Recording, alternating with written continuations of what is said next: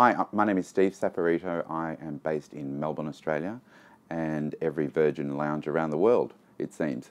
Um, I, my business is called Intuition to Succeed, and together with Kelly Vanier and myself, we train photographers on how to create an unbelievable experience for your clients, which leaves them wanting to reward you with their money, which is pretty awesome. So, I'm going to talk about the six tips on how to create an effortless um, premiere or in person um, design consultation for your clients. Um, the first thing I recommend is to is to watch your terminolo- terminology and language. For me, to create uh, a photographic experience for a client has far much more value than just shooting and then viewing uh, with your clients. Um, particularly, uh, to me, our clients aren't used to our terminology and they get a little bit confused when we start using photo, photo jargon. So translating shooting and viewing to me, you know, viewing is something that you do at a morgue and it's sort of apt that we would be shooting them before we do the viewing. So when we're talking to our clients and we're talking to them about creating a photographic experience, people begin to see the value in what we're doing. The second thing that you need to consider when you are creating uh, an effortless premiere for them is that I highly recommend that you show them, or what am I going to say? I'm, I'm going to go to projection.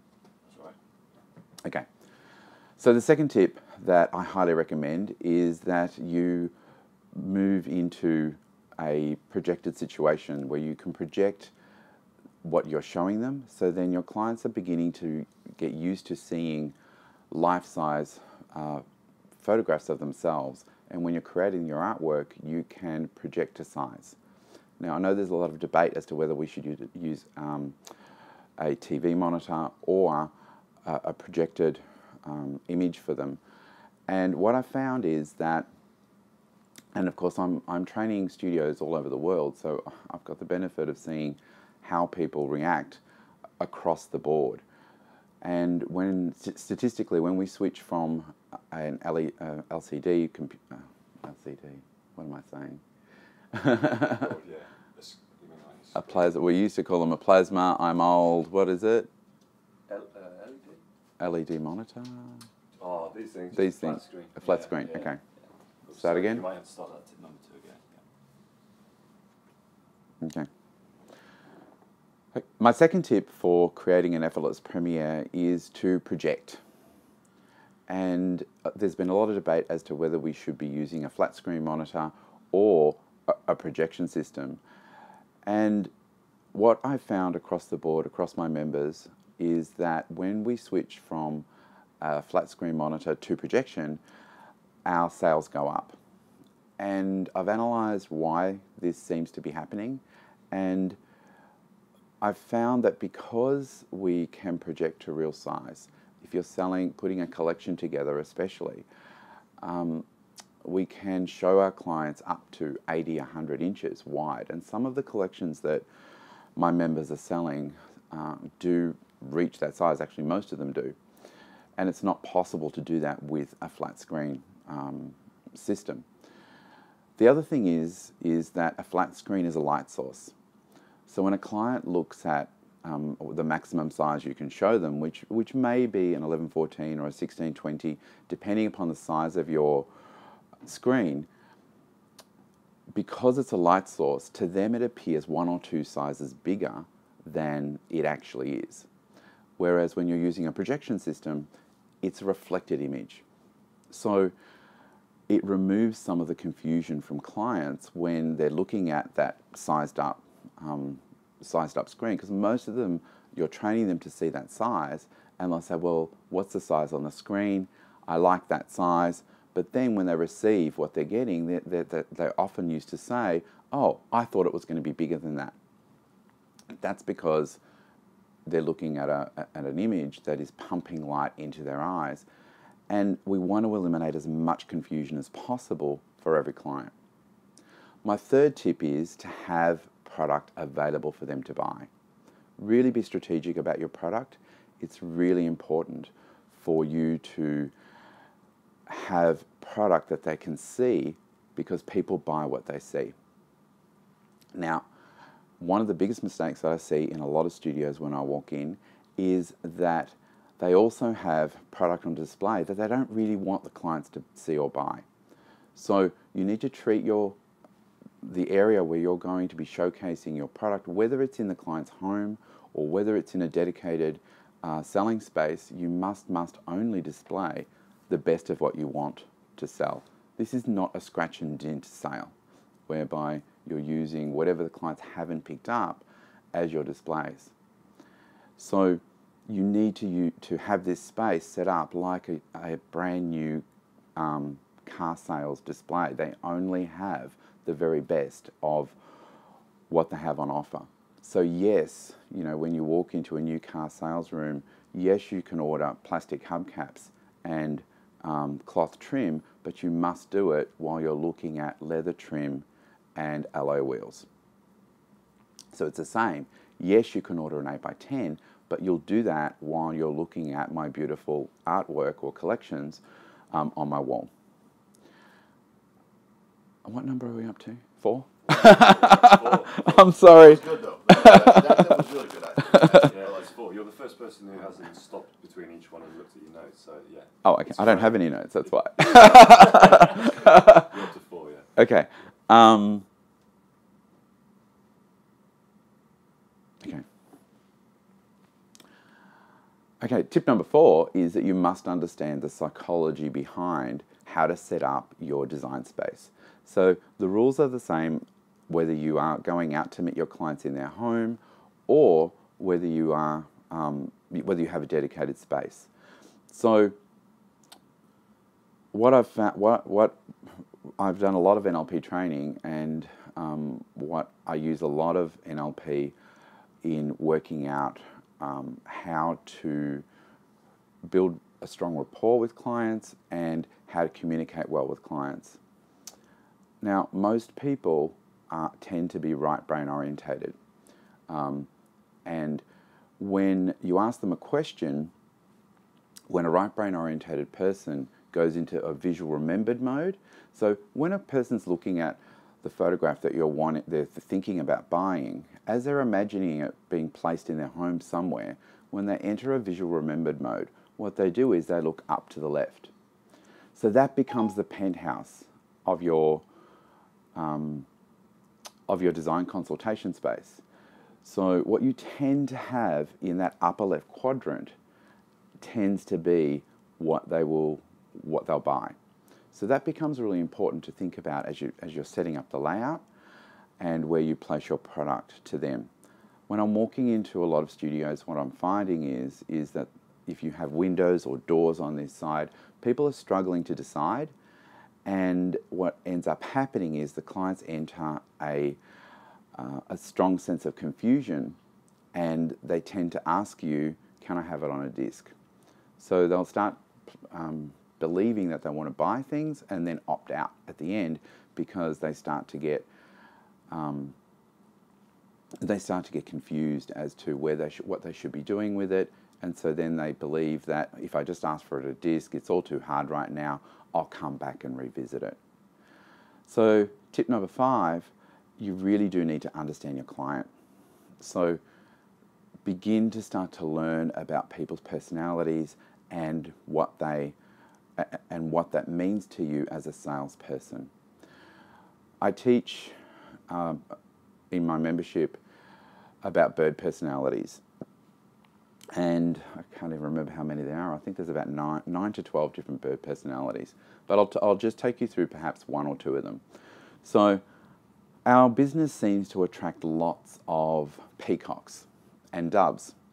So, what a peacock uh, comes into your into your business, they're people that love the limelight. They want to be the center of attention, and they love whatever's shiny and new. So when you are photographing a peacock, you must have them as the centerpiece of every photo because, uh, say, it's a family group, you need to keep them centered. So it even changes the way you photograph once you begin to understand people's personality types. So when a peacock comes in um, and is deciding what, what to buy, pe- peacocks are totally spontaneous. They're the type of person that when they see something, they're like, yep, I've got to have it. If you then start to say, are you sure? Then they begin to doubt themselves and then reject what you're buying. Uh, also, when you are selling to a peacock, you need to show them your, your brand new product and tell and let them know that you know your friends are going to love this um, and I can just see you know when they come and visit you this is going to be a centerpiece for you to talk about because they want to be the center of attention. Whereas almost the opposite of that is a dove. So doves are caring caring birds. They're people that never buy for themselves. They tend to buy for other people. So if you were to say to, to a dove you, you need to buy this because you look awesome in this, they would be totally uncomfortable with this. You would make them feel really, really um, un, unsure about purchasing something. Whereas if they were buying something for their children or buying something for their husband, they would totally be on board with that. So you need to absolutely consider what sort of person you have in front of you before you begin to even contemplate selling to someone. I forgot what number I'm up to. Six? Yeah, yeah. That was awesome. Yeah, really good. Um, don't want to throw you a curveball, Steve, but um, do you have? Um, it's a bit of a question I have as well, but it's up to now being here studio focused. Um, so I'm sure you have something for people who don't have a studio, meet people in cafes, something like that. Is there anything? You should never meet anybody in a cafe. Okay, maybe that should be. I've said whether you do it in your home, in the pe- person's home. Yeah. So you either go to their home or you do it in a studio. Okay. You never meet anybody in a cafe. so if you don't have access to a studio in your own home and just make it look nice, make the room. In your own home or go to their home. Okay. Do you want me to do that? yeah, that would be a good one. What would? What, I was just curious. What was the last tip anyway that you were going to do? I was going to pull something out of my ass. well, there's something I pulled out of it. yeah. Um, Uh, I think that's a good one because that goes against what they've said. What one of the people have said. They said about the cafe, didn't they? They're Yeah, like, yeah. Find a cafe that you go to regularly, send them a menu, and ask them what you know what drink they want when they arrive. There's too much distraction. Okay, cool. Let's Yeah, I that one then. Uh, I, ever since I bought my studio, it's been it's been sales have went up. Well, then they, they believe that you're not really in business and then they think they have every right to ask you for a discount and Oh yeah, yeah. Yeah, so bend you over a barrel, Yeah. really. if you if you don't have a studio, Cool. All right. So you want that? yeah, You want me to talk about that? yeah, that would be good. six. Yeah. So, uh, so if you don't have a dedicated selling space, yeah. Yes, because I think a lot of the readers for your shop Definitely. site don't I'm in that position. space. Yeah, I'm in that Yeah, you're in that position. Yeah. So it relates to me and a lot of people that I've talked to. okay. Well, how do you project in a cafe? Yeah, I don't, I never did the cafe thing, but You can't project in a cafe. No. And the rule is, like when I've gone in and switched from, um, when I've gone in and switched, made them put their their kick-ass L, you know, their plasma screen on eBay and switched them to projection. So they've just sold a six thousand dollar thing on eBay and spent eight hundred dollars on projector. Their sales went up on average nine hundred dollars. Wow. Like, how much is it costing you to keep that stupid thing? yeah, Okay. Okay, so tip number tip number six is if you don't have a dedicated um, space where you can do a design consultation, and, and I, I choose the word design consultation rather than um, rather than a what do most people call it a viewing because a design cons- consult totally adds value to this experience. So if you don't have a design consultation space, go to the client's home. Don't meet them in a cafe because there's so much distraction. There's people walking past, um, there's so much noise, it becomes difficult to hear, and the clients really struggle to focus. So, amongst all that noise, it's really difficult for people to make um, big decisions. So, yes, it will work, and you will probably reach a level um, of of success, but you will be capping your your success. A client is much more likely uh, to have a much better experience in an environment where they can focus without distraction. So if you don't have a, a dedicated space, go to their homes and use that as a way to say, hey, I'm giving you this added service because I can come in and design something specific for your home. So always turn something into a positive. There, you would always bring a, a, a projector with you. It gives you the opportunity to scope out the home and choose the right product for them. Obviously, the, the very, very best version is for them to come to you in a, in a, a totally set up um, scenario in your, in your studio um, where you can set it up to maximize subliminal selling with them. But if you don't have that opportunity, go to them and, and let them know of all of the reasons that this is a great way of doing it and project on one of their walls. Always, always, always carry a portable screen just in case there's absolutely nowhere that they should be doing it. But I, when I have been uh, put into the situation where I've had to project on somebody's wall, I even look for somewhere where I get them to take some of what they already have on the wall off off the wall for me to project on because that then makes that available to you. If the clients are prepared to take something off the wall for you to project on, when they're, they're looking at artwork, they're much more willing to swap over some of the things that have been there for way too long anyway, and you're beginning to train them on what they should be doing with their wall art. Okay, so thanks so much to ShotKit for giving me this opportunity to share some information with you guys.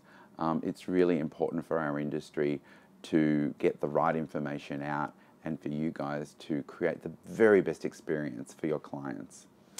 So if you want to find out a little bit more about what Intuition to Succeed has to offer, just head over to the site. It's www.intuition, um, not the letter two, but to succeed. Thanks, guys.